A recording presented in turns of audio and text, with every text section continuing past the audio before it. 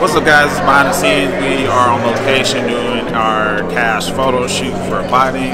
We're on site. We're on set for the Abiding photo shoot. Y'all is going all the way up. I am playing Mr. Arthur Fisher in the Barrington Marson hit film, action film, The Abiding.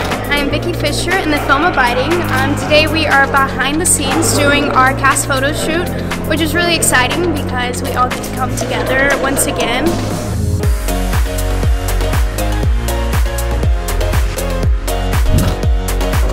Fantastic experience working with Barrington Marson as a director and writer. The guy has got um, a limitless amount of creativity and talent.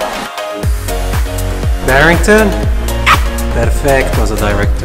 Work with him. Yo, just go see it. I, I, I was I'm gonna be quiet now. We're gonna go back to the BTS, alright? Abiding, coming soon to a theater near you. Peace.